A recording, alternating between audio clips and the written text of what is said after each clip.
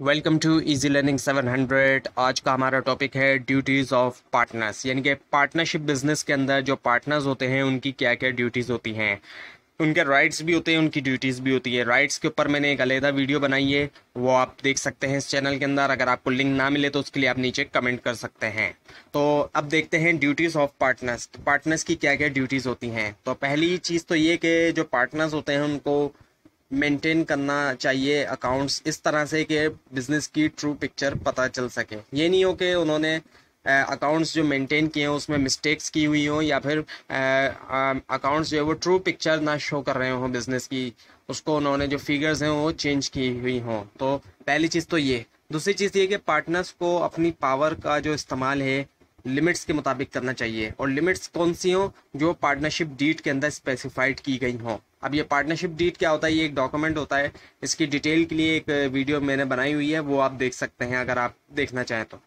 So partners are responsible to provide accurate information to government bodies इसके अलावा ये कि जो गवर्नमेंट बॉडीज होती हैं, उनको पार्टनर्स जो है वो सही एक्यूरेट इन्फॉर्मेशन प्रोवाइड करें। ये नहीं कि गलत इन्फॉर्मेशन प्रोवाइड करें। जैसे एफ़ बी आर है इस तरह की जितनी भी गवर्नमेंट बॉडीज हैं तो पार्टनर्स जो है वो इस बात के रिस्पॉन्सिबल है कि उनको एक्यूरेट इन्फॉर्मेशन जो है वो प्रोवाइड करें। उसके अलावा पार्टनर्स जो है वो रिस्पॉन्सिबल हैं to pay their share in case of loss to the business अब पार्टनर्स इस बात के लिए भी रिस्पॉन्सिबल है कि अपने हिस्से का, अपना हिस्सा वो, हिस्से का जो लॉस है, वो पे करें अगर बिज़नेस को नुकसान हो जाता है। जितना भी मतलब हिस्सा बनता है लॉस होने की सूरत में उनका, उन, उनको उतना हिस्सा पे करना चाहिए। जितना भी बने, दस फ़ीसद, बीस फ़ीसद, तीस फ़ीसद, जितना भी बनता है वो उनको पे करना चाहिए।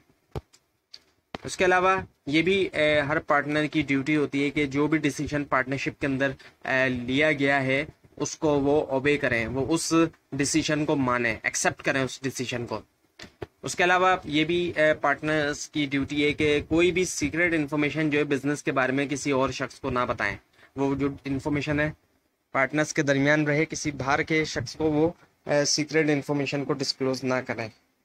And it is the moral uh, obligation and legal responsibility of a partner not to use the firm's forum to take any advantage without intimating other partners यानी कि जो फर्म का फॉरम है जो फर्म की जगह है उसको किसी और दूसरे फ़ायदे के लिए इस्तेमाल ना करें जब तक दूसरे पार्टनर्स को बता ना दें उनसे परमिशन ना ले लें तब तक फॉर एग्ज़ाम्पल जैसे एक रूम खाली पड़ा हुआ है ऑफ़िस के अंदर अब वहाँ पे एक पार्टनर जो है, वो ट्यूशन देना शुरू करते हैं ट्यूशन पढ़ानी शुरू करते हैं। तो जब तक दूसरे पार्टनर्स को इन्फॉर्म ना कर दे, उनसे परमिशन ना ले ले तो तब तक जो है, ज़ाहरी बात है, ऐसा करना जो है, वो एक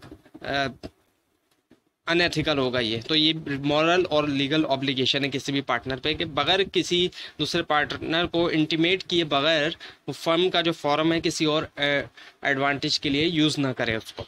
तो ये थी आज की वीडियो जिसके अंदर आपको ड्यूटीज़ ऑफ़ पार्टनर्स बताए गए। आई होप कि आपको काफ़ी हद तक समझ में आया होगा, लेकिन अगर कोई कन्फ्यूज़न है तो आप उसके लिए नीचे कमेंट कर सकते हैं, और इसके नोट्स भी आप हासिल कर सकते हैं डिस्क्रिप्शन बॉक्स में दिए गए लिंक से, लेकिन अगर लिंक ना मिले तो उसके लिए भी आप नीचे कमेंट कर सकते हैं। थैंक्स फॉर वॉचिंग और इस तरह की मजीद वीडियोज़ के लिए इस चैनल को सब्सक्राइब कीजिए।